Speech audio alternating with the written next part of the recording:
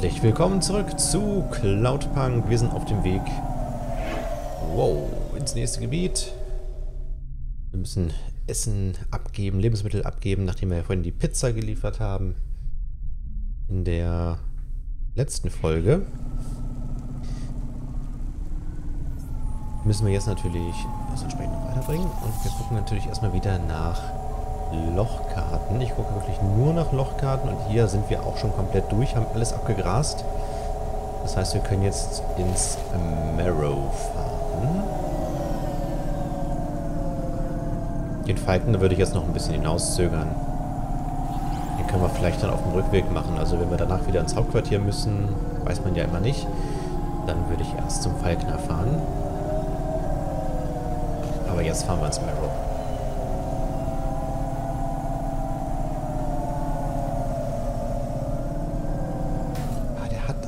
Wendekreis. So. Furchtbar. Meckert er bald wieder rum, dass ich wieder reparieren muss. Ich sehe es schon kommen.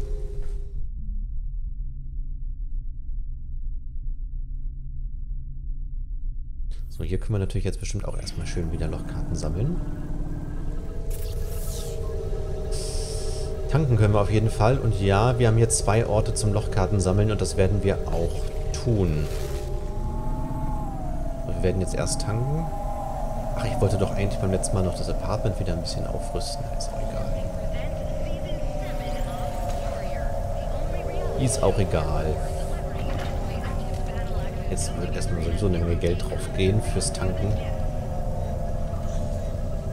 Aber muss ja alles gemacht werden.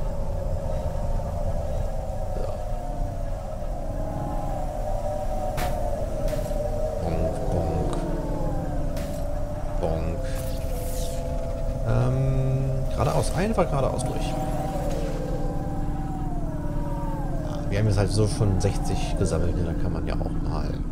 Was hatte ich mich nach den ersten 20 aufgeregt, dass, dass ich nochmal 20 sammeln muss. Na, jetzt muss ich eine Werkstatt suchen. Hier kommen wir sicherlich wieder an einer vorbei. Jetzt gibt es erstmal noch Karten.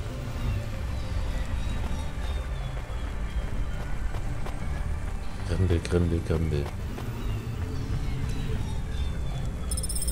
Yeah. War's das hier schon wieder? Ne, hier unten kann man noch hingehen. Da sind auch schon wieder Fahrstühle, das heißt, da müssen wir bestimmt auch schon wieder hoch und runter gehen.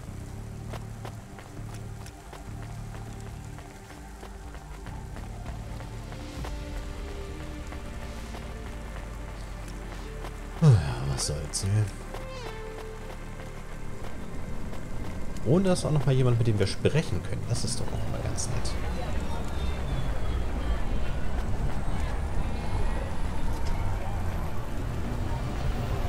Was ist das? Seltene Videospielkassette. Ich glaube, so eine haben wir auch schon mal gefunden. Nee, haben wir noch nicht. Ich glaube, das ist eine Art Videospiel. Es ist aus schwarzem, klobigen Plastik mit einer einfachen Leiterplatte. Das verblasste Etikett hat nur ein paar Zeilen lesbaren Text. Fumbus Quest.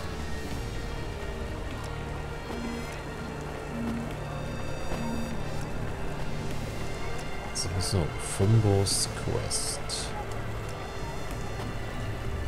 Ah, da ist der Typ. Patchwork, habe ich das richtig gelesen? Patchwork. Hey, please stop. I need your help. I'm sorry, I can't.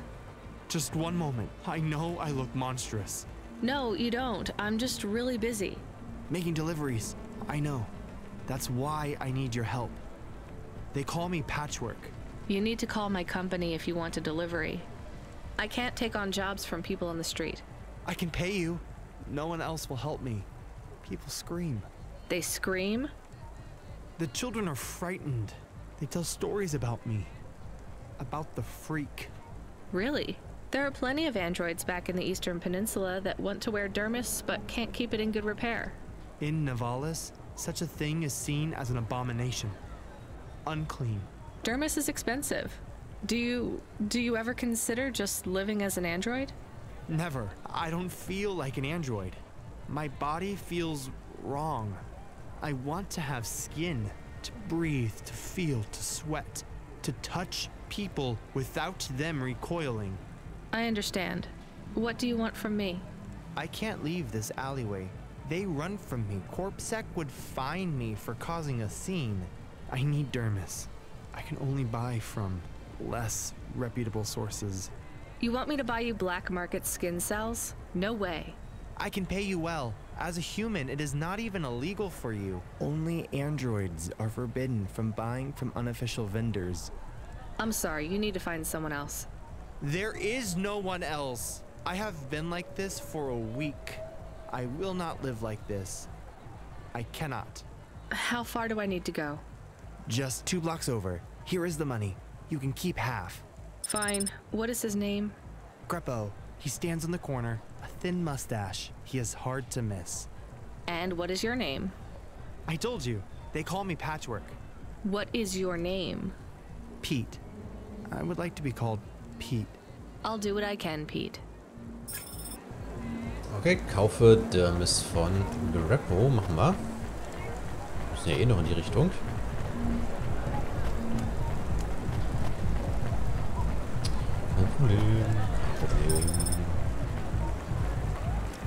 Ist ja direkt hier. Doch müssen wir auch noch mal. Greppo? That's me. Keep moving, sick. What? I'm not Corpsec. Sure you ain't. I don't have anything for you. Dermis. I need it. For a friend. Oh. the skin job found someone to come out and play? How is Patchwork Man? His name is Pete. Pete? Who's he fooling? He's a Patchwork Man. With the wobbly jelly eyes and the flesh hanging off him like he's skin meat. What the hell is wrong with you? You know what they say about him? The patchwork man loves to see the smiles on kids' faces. That's why he wears them over his own.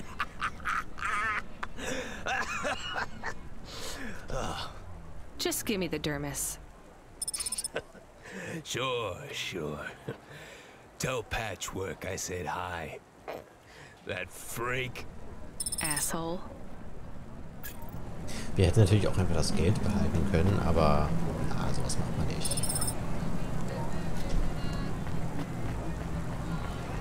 Das würde auch gar nicht zu ihr passen. Aber bevor wir jetzt zu Patchwork oder zu Pete wieder zurückgehen, müssen wir noch einmal nach oben. Hier kann man schön... Sieht aus wie Wasser. Ist das Wasser?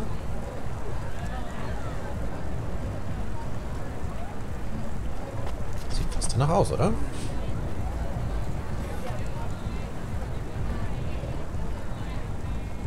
Wundert mich jetzt nur so ein bisschen, aber gut. Dann sind wir ja tatsächlich ziemlich weit in den unteren Ebenen. Ist die Stadt einfach über dem Meer erbaut. So wie es aussieht.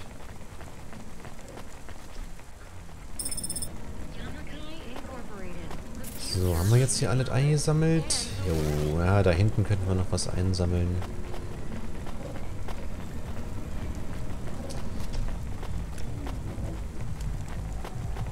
Wobei, da ist jetzt ein Pfeil nach unten. Vorhin war doch noch ein Pfeil nach oben angezeigt. Oder gehört der zu Pete? Der gehört zu Pete, der Pfeil, ja. Genau. Gut, dann bringen wir eben mal das Zeug. Die Hälfte dürfen wir behalten.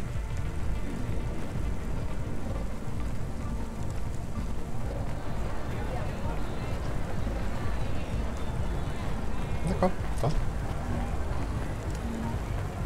Dann hat er jetzt auch wieder ein schöneres Leben. Immerhin mit ein bisschen Haut. Wobei das dann ja scheinbar auch nicht äh, nachhaltig hält. Ja, mal gucken. I can't believe you have to deal with that Greppo guy. Did you get the dermis? Yeah, it's just a vial with some liquid. That's right. The cells are microscopic, but they grow and renew. I'll have full human skin for a few months, at least. Then it breaks down. Can you get something more permanent? Not unless a million limbs suddenly appear in my bank account. Would you ever live as an android? Would you? I guess not.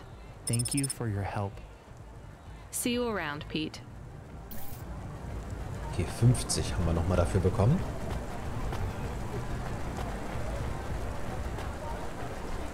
Ja, dann passt es ja. Ne? Wir haben, glaube ich, 650 bekommen. Wir haben 350 bezahlt und nochmal 50 drauf. Das ist ja auch ungefähr das, was wir bezahlen sollten. Und ja, das hier unten ist tatsächlich Wasser. Interessant.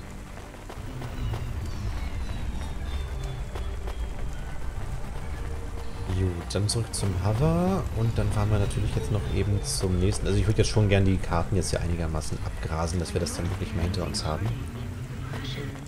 Und wenn wir dann zwischendurch halt diese Nebenquests noch finden, ist das ja auch umso besser. So, einmal hier auf die ganz andere Seite. Da ist auch wieder jemand, mit dem wir sprechen können.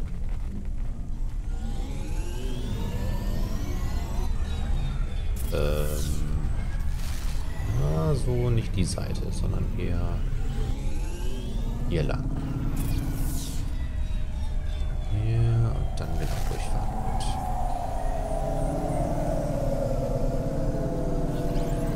So, die Nebengeschichten sind ja doch durchaus äh, ganz nett.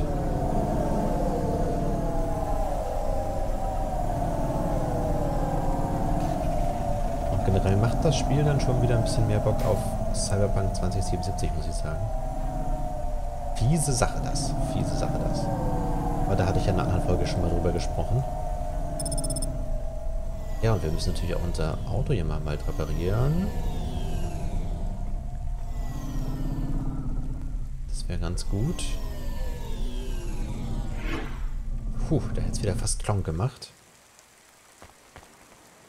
Oh, hier sind sogar zwei, mit denen wir sprechen können. Andy! Excuse me. I am not usually permitted to speak, but I need help. I'm really busy. It will only take a moment. Really busy. I have no one else to ask. No one else but the million people walking past as we speak?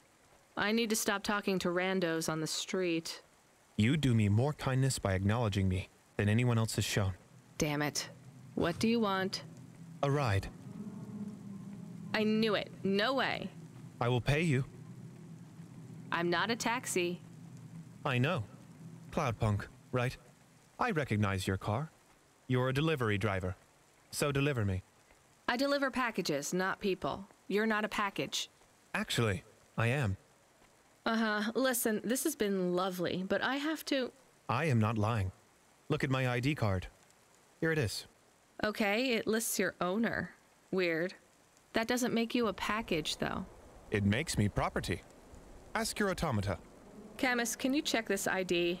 1, 14, 4, 25, 4, 15, 12, 12. Property belonging to an android called Sarinam. Citizenship voluntarily revoked last month. If found, return to owner. I told you. Will you take me back to Sari? I'll pay you. You can't even get in trouble.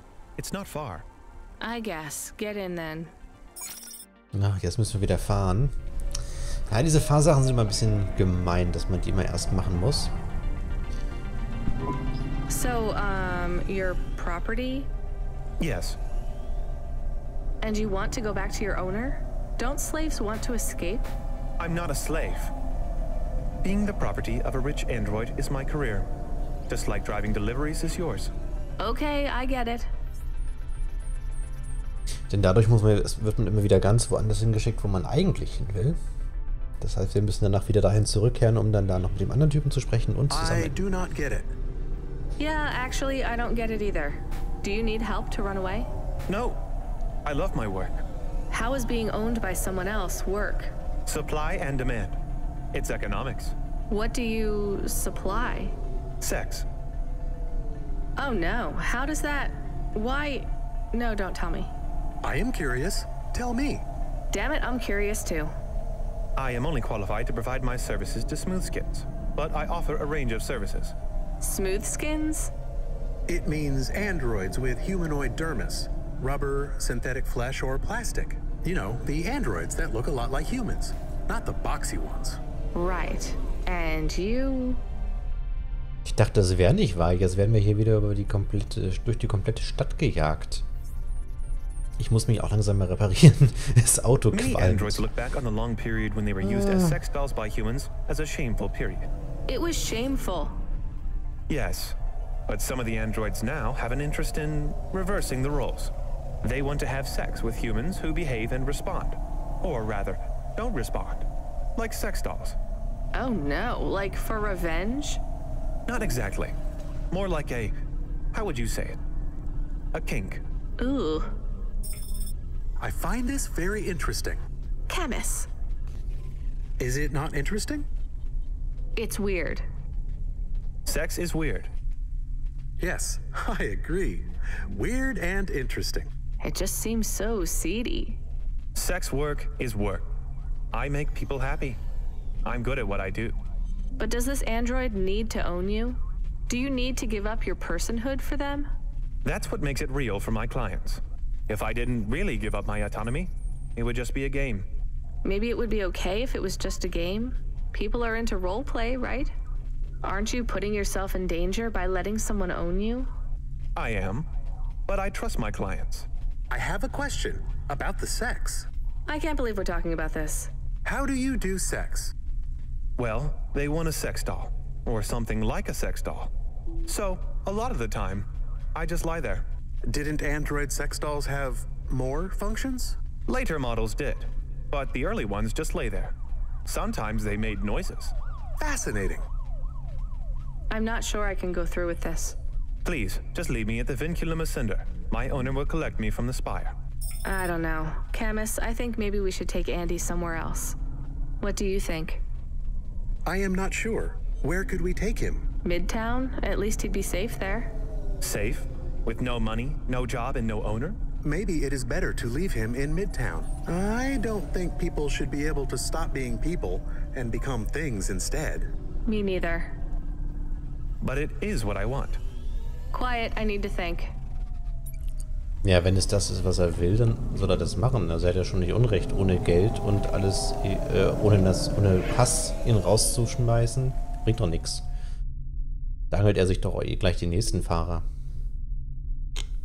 Von daher, nee. Wir bringen ihn dahin, wo er hin will.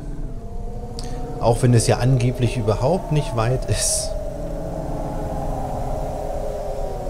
Ich hoffe, das Auto hält so lange noch durch. Weil das ja, wir, wir sind jetzt wieder auf einem komplett falschen Weg. Yay, da ist es. Unfassbar. Na komm.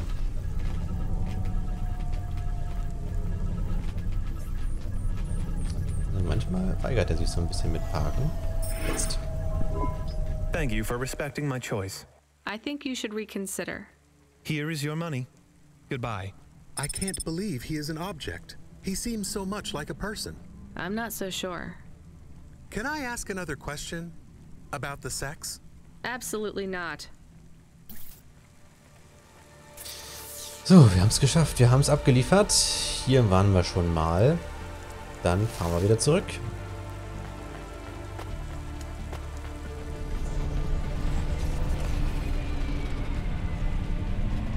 Keine Werkstatt weit und breit. Also zumindest liegt jetzt keine auf dem Weg. Eigentlich würde ich jetzt ja schon ganz gerne wieder dahin fahren, wo wir hergekommen sind. Gucken, vielleicht kriegen wir das ja so noch hin, ohne dass das Hover zusammenbricht.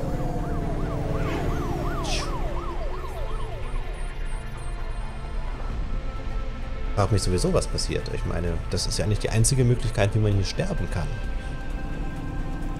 So, hier links ist eine Werkstatt. Die suchen wir doch eben auf.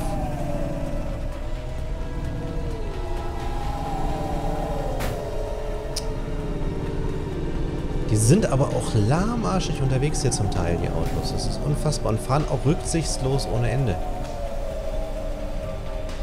So wie ich. Manchmal noch schlimmer. So, einmal reparieren bitte. Dankeschön. So, dann hätten wir das auch wieder erledigt. Gleich wieder gegen Donnern. Und... Ja gut, dann fahren wir jetzt hier rechts rum. Kommen wir auch zum Ziel.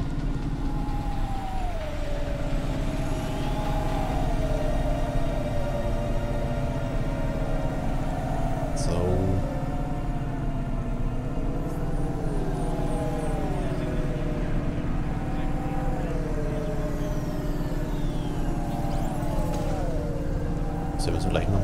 abbiegen. Das kriegen wir aber hier gut hin.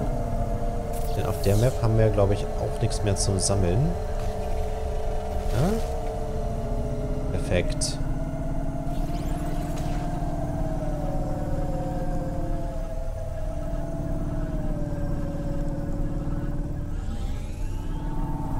So wünscht man sich das doch.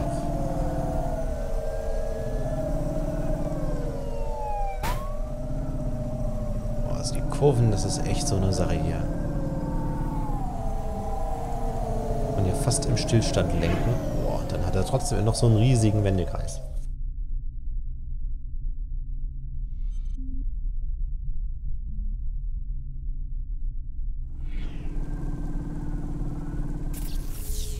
So, hier. Hier waren wir auch durch.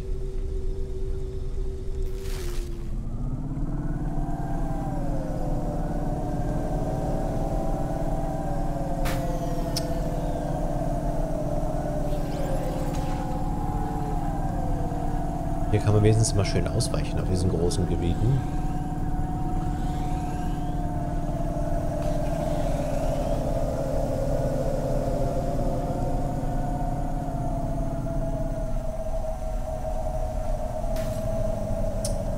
Wie gesagt, die fahren halt einfach ihre einprogrammierten Wege ab. Egal, ob da jemand kommt oder nicht.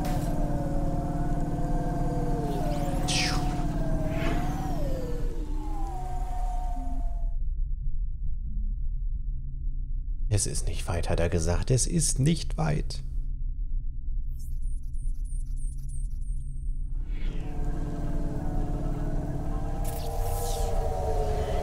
So, hier sind wir wieder. Chaka.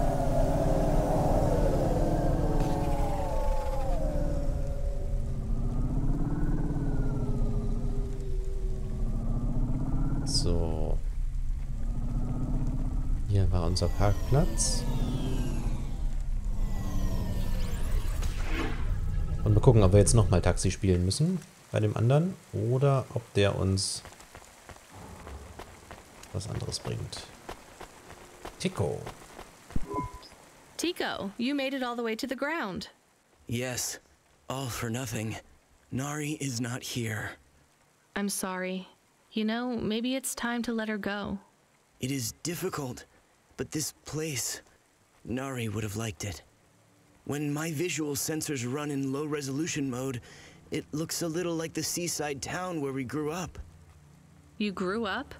Tico, was Nari like you? I don't know what you mean. An android. I'm sorry, there are some things I can't talk about. Nari was a woman like you. Oh, y- you don't understand what you are. She thought we were the same, so I did too. My father called me prototype. I didn't look any different to the people around me. But you felt different.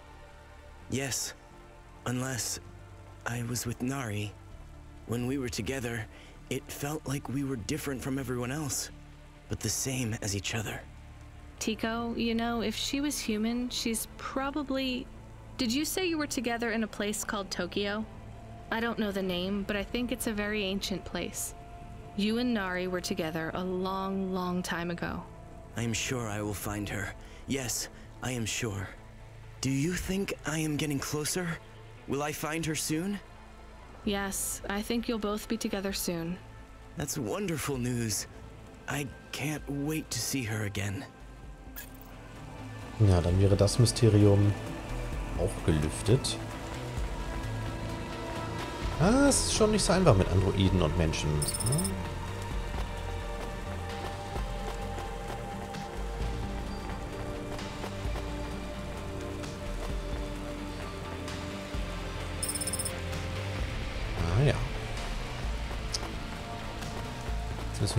Ganzen Weg da hinten hinlaufen. Dann haben wir da auch die Lochkarte. Also wenn es eine ist. Vielleicht ist es ja auch wieder was anderes. Aber wir sind einfach mal optimistisch. Lochkarte. Nicht ganz die letzte, aber die äh, 16 letzte. ah, yay.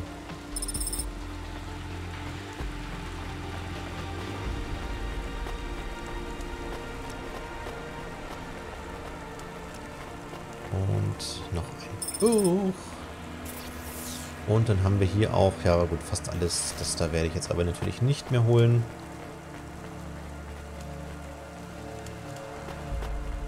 So, hier kommen wir auch gar nicht rüber. Ja, wo war denn das Auto? Ach genau, wir müssen trotzdem so hinten rum. Von hinten durch die Post, die ins Auge laufen. Halt.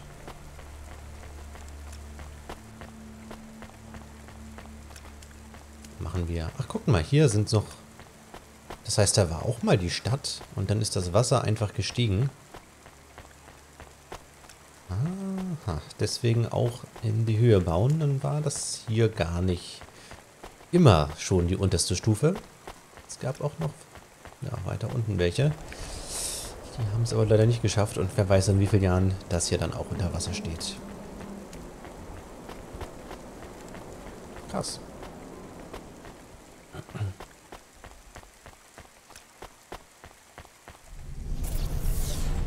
So, als nächstes fahren wir natürlich da oben hin. Genau.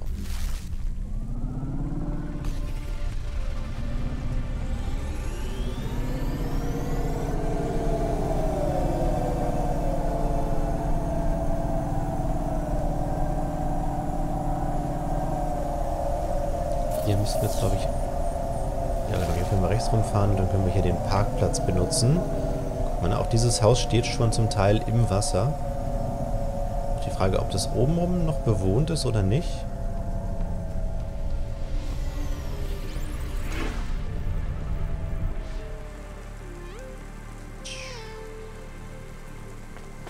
So, dann können wir hier mal was sammeln. Ich weiß nicht, ob ich sie ansprechen soll. So ein bisschen die Sorge, dass sie auch irgendwo hingebracht werden will. Deswegen sammle ich erstmal hier alles ein. Aber hier haben wir auch schon wieder mehrere, mit denen wir sprechen können. Hm.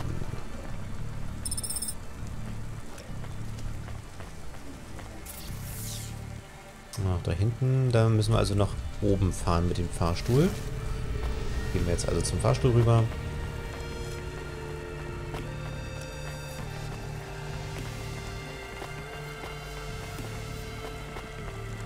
Ach, schon wieder der Ingenieur.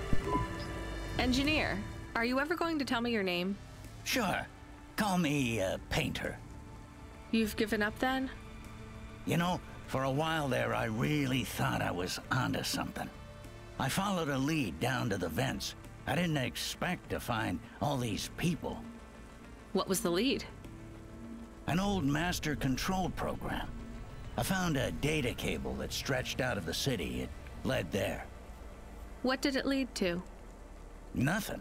I'd hoped to find some old rogue mainframe spitting out garbage to the main infrastructure subsystems.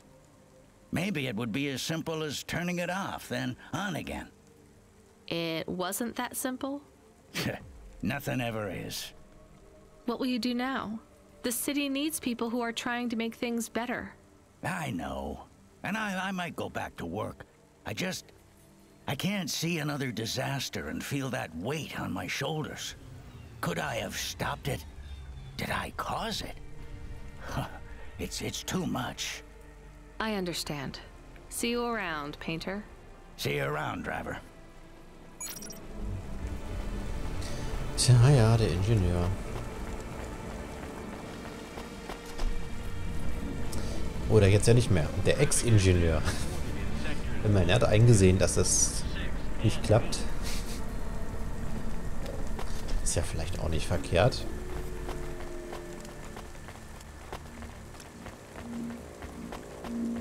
Gut, aber ich würde sagen, an der Stelle machen wir dann auch Schluss für diese Folge und dann sehen wir uns beim nächsten Mal wieder. Bis dann, tschüss.